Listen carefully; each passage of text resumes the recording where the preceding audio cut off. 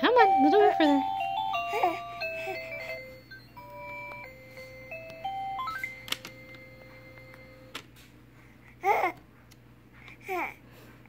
Did you get it? Mm.